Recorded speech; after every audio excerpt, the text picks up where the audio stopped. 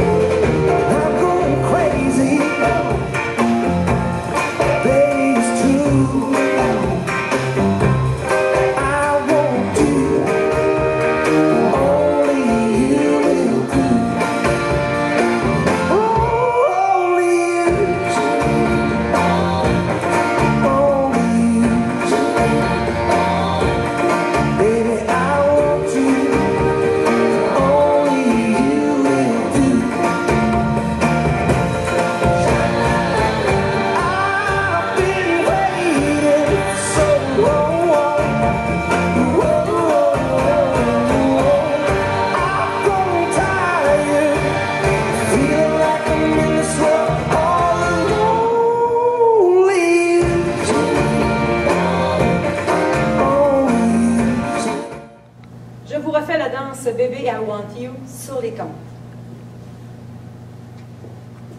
Alors, première partie.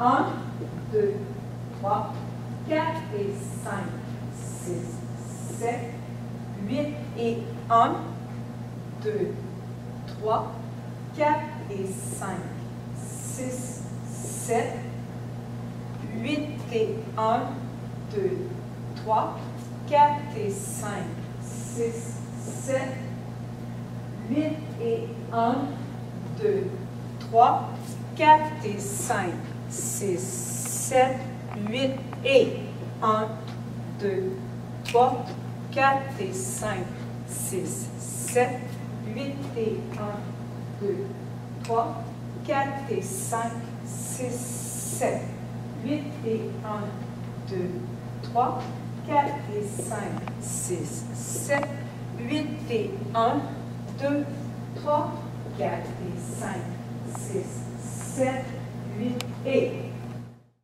Dans la chorégraphie, il y a un tag après la septième routine, à la fin de la quatrième partie, la quatrième et dernière partie. Alors, vous terminez, quand vous terminez la, quatrième partie, c'est comme le début du cours step et 8 et vous avancez pied droit devant au touch, 1, puis crawl 2, puis vous recommencez la danse, 1, 2, 3, 4 et 5, 6, 7, 8 et 1.